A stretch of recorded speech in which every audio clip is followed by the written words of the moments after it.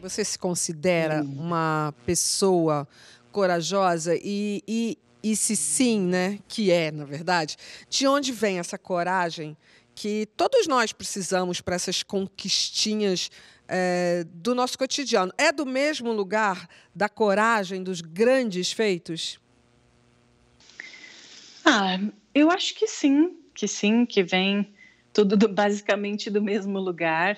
Eu fui uma criança que saí super cedo de casa, com 10 anos, e sempre tive esse lado de menina solta, é, então muito guerreira, sempre treinei bastante também é, por conta dos treinamentos, tive que obedecer muito aos meus técnicos, abrir mão de muita coisa, né, do meu dia a dia, dos meus familiares, até dos pets na época, né, porque não conseguia conciliar o treino com o estudo. Então, acho que sim, a coragem vem dessa luta aí, vem de apanhar e levantar, e tantas cirurgias. Então, isso. E dos medos, principalmente. Dos, do medo de perder, do medo de me perder. E é isso. Hoje eu venho meio que tentando fazer essa luta é, dia após dia e para estar tá bem, para estar tá sorrindo, para aceitar o meu momento. É, a coragem, o, o medo sempre na minha vida ele sempre teve junto com a coragem, porque ele não me paralisava, né? Mas ele está ali o tempo todo. E aí a gente parece que a coisa do respira. Eu lembro sempre da, da Hortência, outra atleta, uma outra super atleta, né? Respira, perde o medo e vai. Gabi, com você é assim? Também, Astrid. A gente vai fazendo as coisas, a gente vai com medo, mas a gente vai fazendo. Mas quando a gente começou a pensar nessa pauta, eu me veio muito a imagem das crianças ribeirinhas na Amazônia, porque desde muito cedo a gente já tem que aprender o medo, e uma das formas da gente perder esse medo, a ter coragem, é se jogando no rio para aprender a nadar. Então eu lembro de ver muita criança que já começava a andar e já vinha com esse chip da coragem e já se jogava no rio sem medo nenhum. E muitas crianças que só aprenderam a, nadar com 10, 11 anos de idade. Então eu fiquei refletindo sobre isso, que eu acho que essa parada da coragem já vem com a gente, mas também através de exemplos como esse exemplo da, da Laís, a gente se enche de coragem só de ver a história de vida da pessoa. Mas você, você foi das que se atirou no rio logo? Porque eu vejo com, as, com, com o Gabriel, por exemplo, tem os amigos super corajosos, as crianças que se atiram, e o Gabriel não seria a primeira criança a pular dessas pontes aí para o rio. Você estava em que grau aí? Não.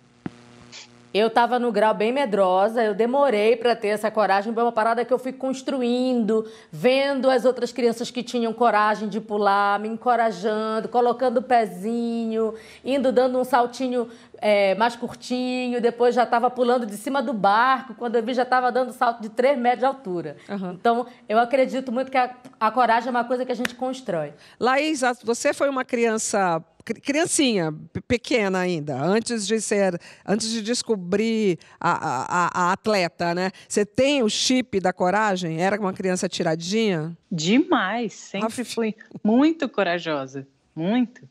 Para me jogar naqueles mortais, duplo mortal de não sei que altura, isso com certeza tive que ter muita coragem e sempre tive a sensação que já era de mim. Que quando eu era criança, moleca, eu brincava na rua, Uhum. E lá eu fazia muita, muita sapequice, com, sabe, de correr muito rápido, de andar de bike, sempre num modo bem competitivo.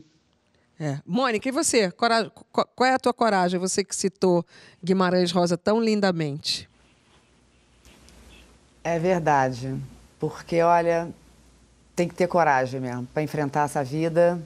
É porque a gente sempre pensa em coragem dos grandes feitos, né? Das, das, das, coisas tão grandes. Eu acho que a coragem a gente tem no cotidiano também. Eu acho que a gente vai exercitando essa coragem no cotidiano, né? É, eu fiquei pensando, a gente é muito crítico a gente mesma, né, gente?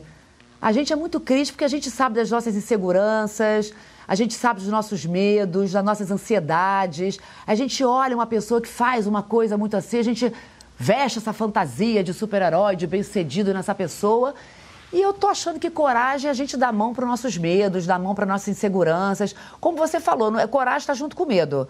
Eles andam juntos, porque você sem medo, você não tem enfrentamento. Você vai enfrentar o quê? Então, pra você ter coragem, você tem que ter coragem para enfrentar alguma coisa. E eu acho que cada vez mais a gente tem que dar valor às nossas pequenas conquistas do dia a dia. Nossas pequenas coragens, sabe? Super sei. Para muitos brasileiros, Total, acordar é um ato de coragem, Total. né? Ir para a vida, né? Concordo. né?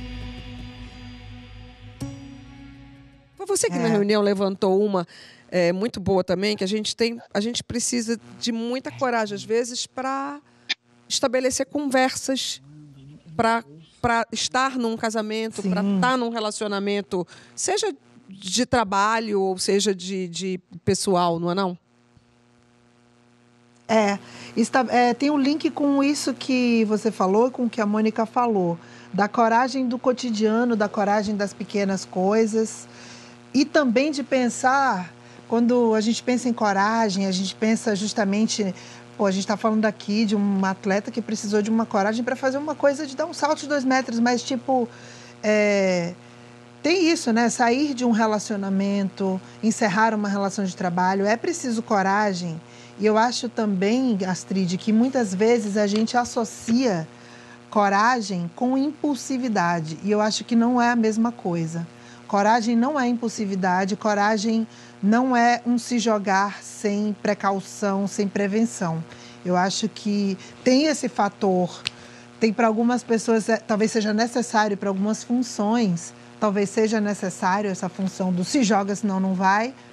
Mas eu, particularmente, acho que nessas coisas do dia a dia, a coragem é você é, pensar bem e fazer, continuar fazendo aquilo que você tem medo, mas com uma certa prevenção, principalmente pensando nessas pequenas coisas, né? Você consegue Imagina, dar um exemplo? Largar, fazer a louca. É verdade. Ah, tipo isso, vamos lá, você você tá, você tá numa relação de trabalho Cara, tá e você sabe que você precisa encerrar aquela relação, muito. mas de repente você ainda não tem um outro porto seguro. Você vai sair, fazer a louca, bater a porta, beijo, tchau calma, peraí, eu vou estruturar isso é. aqui, eu vou ter coragem para fazer isso aqui, mas eu vou, não, não vou ser impulsiva, não vou ser imprudente, não vou ser, não sei lá, né? Vou pensar um pouco mas, como eu viabilizo isso, o que eu quero fazer, com coragem, mas com precaução. Mas isso não é uma característica sua, porque eu, eu me vi agora. É, em, em, situações que, se não fosse naquele momento por impulso, até de trabalho mesmo, é, tipo, então, tchau, e amanhã eu vejo como é que eu vou me virar. Eu já fiz isso na minha vida. Ah, sim. Já fiz mais de uma sim, vez é isso na minha vida, pensando bem na minha vida Olha, profissional, sim. eu estou falando. É, porque senão é. você não tem uhum. coragem. Sim, não, não, não quer dizer que não Você vai arrastando aquele trabalho ali. Mas, mas... Fala, Mônica. Astrid, você não acha que a gente vai melhorando em relação a isso? Eu fiquei pensando isso aqui agora, eu acho que eu era impetuosa também, mas depois você tem que. Tem, tem, tem que consertar a merda do ímpeto, você tá entendendo? Ah, não me Aí a gente vai aprendendo. Fiz, também. não, não é se arrepender, não, mas eu acho que é, você vai é, construindo uma outra tipo de coragem, uma outra visão, como a Pete falou, realmente. Às vezes tem gente, por exemplo, vai abrir um negócio não pensou nada. O negócio foi no ímpeto. Então, aquilo é. É, é, é, tinha tudo para, enfim, para dar errado. Então, é realmente você pensar. É, coragem não é você se jogar eh, quase suicida, né, numa situação. Eu não, eu não vi ainda você falando sobre isso, mas você se arrepende de ter tomado uma decisão de ter. Porque trocar de esporte é uma decisão rara não é? Na, na, em atletas do seu, do seu nível, né? Você está ali no auge da... Eu não sei qual é a ligação que um até pode ter com o outro. Para mim, que sou amadora, parece... Ah, ela voava ali na, naquelas barras de uma para outra, voava naquele solo, como é que aquela mulher levantava do chão e chegava naquela altura e tal.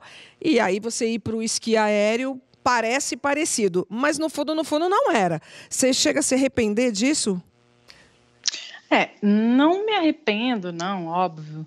É, até para engolir de uma forma mais fácil. Sim. Mas depois que eu fui maturando e pensando, é, sim, aí de certa forma sim, porque se eu não tivesse tomado a decisão de tro ter trocado é, de esporte por conta do lado financeiro, por conta, sabe, de diversas coisas, da falta de paz, da falta de estrutura mesmo, uhum. até a estrutura psicológica, é, eu poderia ter tomado uma outra, é, um outro rumo aí para minha vida.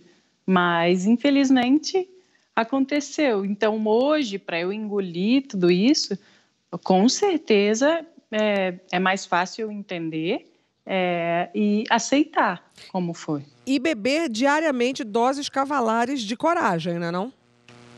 Com certeza. Coragem, é, esse, essa motivação mesmo para acordar de manhã, que, como eu te falei no começo daí da conversa, eu sempre fui muito espoleta. Então, hoje, para eu estar tá dependendo de alguém para fazer para mim, é, tudo, né, na verdade, desde dirigir, abrir minha carteira, me dar um banho, ou estar tá no meio da minha família, é, sei lá, precisa de coragem. E o que, que, te motiva, Thaís? São as pessoas? Ah, Laís, desculpa, eu acho Thaís. que, imagina. Laís. É, eu acho que é um pouquinho de tudo, sabe? É, é o carinho das pessoas, histórias dos outros cadeirantes, das outras é, pessoas que, sabe, acaba escrevendo textos e textos, contando o que elas estão passando, isso me motiva muito. É, e quem está ao meu redor, o carinho de quem está cuidando, é, eu saber que eu consigo ter uma vida normal que antes eu não acreditava que eu teria, mas hoje eu me relaciono, tenho meus pets, é, se eu quiser fazer um esporte, eu conseguir, né, é, tá dentro, sei lá, tá num bug, ou tá dentro de um carro, qualquer coisa, tá em cima de uma prancha que vai ser é, parecida. Então, eu venho aprendendo. São sete anos de, de cadeira de rodas e ainda estou aprendendo muito. Sou super nova nesse mundo que tem tudo para aprender. Vem cá, eu vou fazer uma rodada depois de, de, de momentos de, de, coragem, tá? Com todo mundo, assim. Qual foi o seu ato de coragem maior? Gabi, você falou que você tinha uma história para contar de conversa corajosa. É, eu fiquei viajando em tudo que a Laís falou e fiquei pensando também que a gente ouve falar muito, é, não vou me arrepender, é, não se arrependa. Eu acho que a gente tem que fazer as pazes com arrependimento, porque é importante a gente perceber que às vezes a gente se arrepende das coisas. E tem uma conversa que há muito tempo eu estava me preparando, que era a conversa com meu filho para falar do pai biológico dele, né? E o meu filho acabou de completar 12 anos e eu ali fazendo terapia, como é que eu vou abordar esse assunto? É uma conversa muito importante para ter com o Davi, para a gente falar sobre isso. E essa conversa, ela aconteceu de uma forma tão natural, tão linda. Ele já tinha ali na cabeça dele observado a nossa vida e chegado a uma conclusão muito perto da realidade que aconteceu.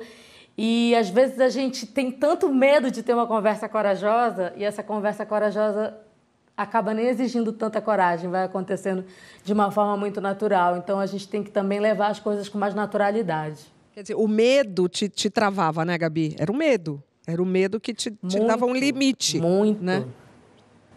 Também. O que me dá coragem, eu acho que, que me dá coragem. O que me dá coragem hoje, cara, eu acho que é a minha busca de autoconhecimento, cara. É o que me dá coragem. Falou que eu ia Porque falar. Porque a gente tem que estar provando o tempo inteiro para o mundo quem a gente é. E eu acho que a grande coragem que eu tenho é seguir a minha intuição, é nunca ter desistido e continuo ainda enfrentando assim, cenários muito parecidos. Entendeu? Entendo que em muitos momentos parar e falar, calma, não ouve, continua na sua, acredita em você. Então, a maior coragem que eu tenho é de rever alguns padrões também que as pessoas tentam me impor e eu tenho que ter coragem para falar, não é isso aqui. Não, eu não sou essa pessoa. Não sou. É, eu acho que é. O sistema de é, alerta não, não, não tem descanso, né? Parece, né?